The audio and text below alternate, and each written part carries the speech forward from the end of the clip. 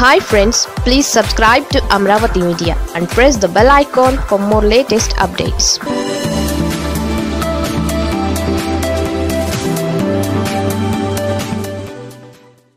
Jagan క్యాబినెట్లో ఎవరిని తప్పించినా ఈ మంత్రికి మాత్రం ఢోకా లేనట్లే. మంత్రివర్గంలో మార్పులు చేర్పులపై గత కొన్ని నెలలుగా విపరీతమైన చర్చ జరుగుతున్న సంగతి తెలిసిందే. రెండున్నరేళ్ళ తరువాత మంత్రివర్గాన్ని మార్చేస్తానని ప్రమాణ స్వీకారం సమయంలోనే సీఎం జగన్ మంత్రులకు స్పష్టం చేశారు. అందుకు తగ్గట్లుగానే మంత్రి పదవులు ఇచ్చారు. ఇటీవలే ప్రభుత్వం రెండున్నరేళ్ళు పూర్తి చేసుకుంది. దీంతో ఏ క్షణానైనా మంత్రివర్గాన్ని పునర్వ్యవస్థీకరిస్తారన్న ప్రచారం జరిగింది. వంద శాతం మంత్రులను మార్చేస్తారన్న ఊహాగానాలు వినిపించాయి. అలా కాదు కొందరిని మాత్రమే మారుస్తారని చెబుతున్నారు. అలా కాదు ఎనిమిది మందిని కొనసాగించి మిగిలిన వారిని మారుస్తారని లేదంటే ఎనిమిది మందినే తప్పిస్తారన్న వార్తలు వచ్చాయి.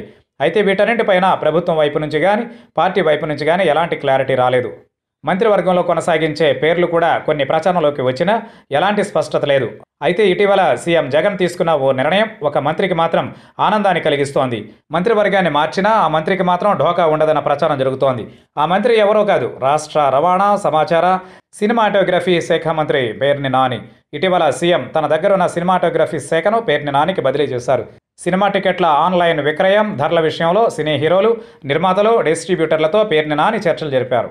ఈ నేపథ్యంలోనే నాని పనితీరు మెచ్చిన జగన్ సినిమాటోగ్రఫీ శాఖను ఆయన చేతుల్లో పెట్టారు. మంత్రివర్గంలో మార్పులు చేర్పులపై చర్చలు జరుగుతున్న తరుణంలో అదనపు శాఖను అప్పగించడంతో పేర్ని నాని పదవికి మరో రెండున్నరేళ్ళు ఢోకా లేదన్న చర్చ కూడా జరుగుతోంది. మంత్రివర్గంలో కొనసాగే అతి కొద్ది మందిలో పేర్ని నాని కూడా ఉంటారని వైసీపీ నేతలు అంటున్నారు. పార్టీ వాయిస్తో పాటు ప్రతిపక్షాల విమర్శలను సమర్థవంతంగా తిప్పికొడుతుండడం పేర్ని నానికి ప్లస్ అయిందన్న మాట వినిపిస్తోంది. వైసీపీ ప్రభుత్వం ఏర్పడిన తర్వాత మధ్యలో ఇద్దరు మంత్రుల స్థానాలను భర్తీ చేసినప్పుడు శాఖల్లో మార్పులు జరిగాయి. అదనపు శాఖ పొందడం మాత్రం కొందరికే సాధ్యమైంది. గతంలో మేకపాటి గౌతమ్ రెడ్డికి అదనపు శాఖను ఇచ్చిన సీఎం ఇప్పుడు పేర్ని నానికి మాత్రమే అదనపు బాధ్యతలు ఇచ్చారు. మరి అదనపు శాఖ కేటాయింపు వెనుక కొనసాగింపు నిర్ణయం ఉందా లేదా అనేది తెలియాలంటే కొన్నాళ్ళు ఎదురు చూడక తప్పదు.